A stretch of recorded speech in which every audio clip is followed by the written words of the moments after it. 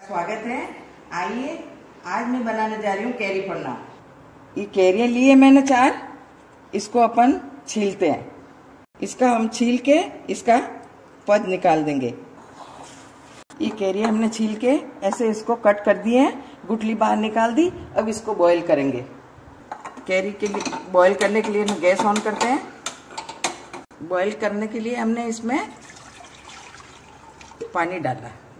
इसमें carry boil करने के लिए एक सीटी ले लेंगे। साथ ही इसके काली मिर्ची डाल देंगे।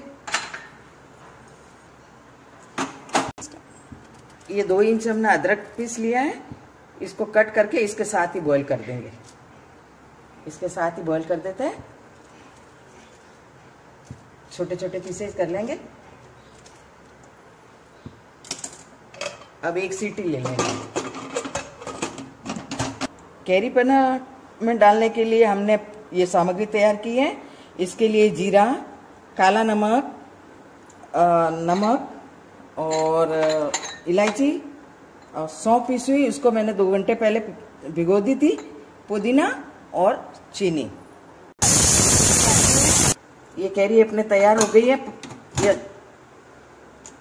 सीटी आ गई थी इसकी। अब अपन इसको ऐसे करके चेक करते हैं। ये अच्छी सी बॉयल हो गई है। चम्मच जा रहा है आसानी से। अब ठंडा होने के लिए इसको थोड़ी देर छोड़ देते हैं। जूस के लिए अपना तैयार हो गया है।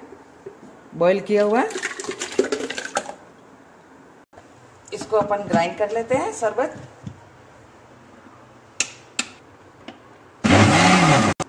ये जूस तैयार हो गया है अपना। इसमें अपन थोड़ा छान लेंगे।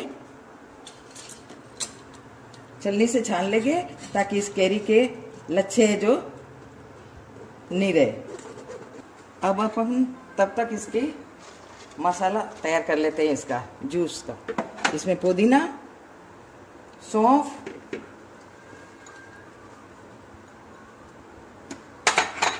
इलायची पाउडर,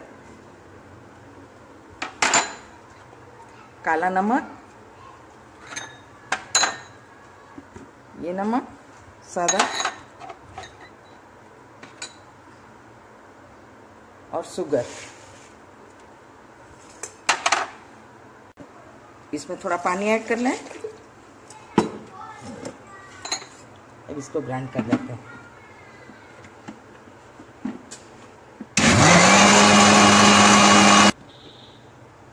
ये अपना तैयार हो गया है। कर लेते हैं अपन।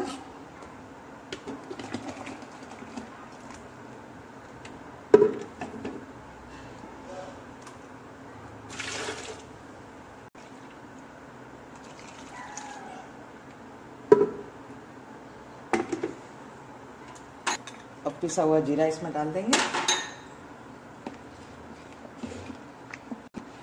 अब सारी सामग्री मिक्स होने के बाद खट्टा मीठा जूस अपना तैयार है। कैरी पन्ना अपना तैयार हो गया है जूस। ये गर्मियों के दिन सीज़न का बहुत ही लाजवाब शरबत है। घर में इसको बनाने से बहुत फ़ायदे हैं इसके। ये हमारा तैयार हो गया पीने लायक। आप गर्मी में इसको जब मन चाहे स्टोर कर किया हुआ पी सकते हैं। और फ्रिज में आप सप्ते भर के लिए आराम से रख सकते हैं। आपको हमारे कैरी पन्ने की रेसिपी कैसी लगी? आप भी घर पे बना के इसका वीडियो को लाइक करो।